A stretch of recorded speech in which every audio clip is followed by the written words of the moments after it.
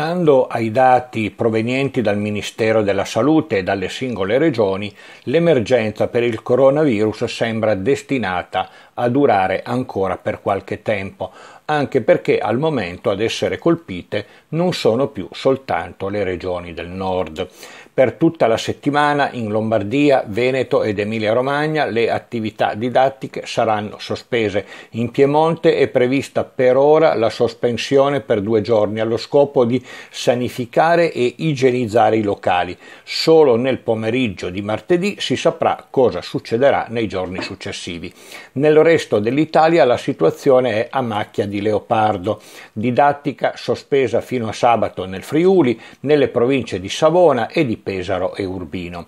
Continua il blocco delle gite scolastiche fino alla metà di marzo, mentre in alcune regioni non mancano le proteste dei docenti, come per esempio in Calabria, dove si parla addirittura di denunce penali nei confronti dei responsabili regionali nel caso in cui per la mancata chiusura si dovessero verificare casi di contagio.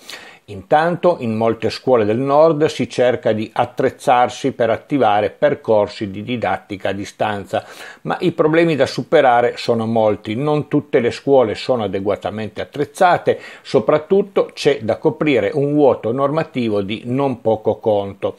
I sindacati di base Cobas e Unicobas in primis osservano che i docenti non sono tenuti a realizzare attività didattiche a distanza che quindi rimarrebbero affidate alla buona volontà dei singoli.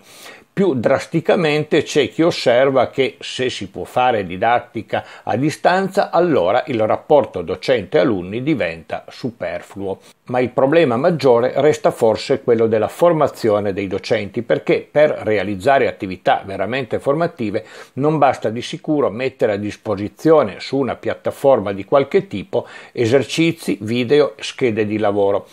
A latere facciamo osservare che la questione dovrebbe far ripensare anche il tema della carta del docente. Se il Ministero mira davvero alla diffusione delle pratiche di didattica a distanza, deve prevedere di dotare i docenti di attrezzature adeguate che possano essere utilizzate anche a casa e in prospettiva quindi il borsellino elettronico della carta potrebbe avere proprio questa funzione ma per ora prefigurare soluzioni è difficile, anche perché su questo tema siamo solamente agli albori, almeno nella maggior parte delle scuole.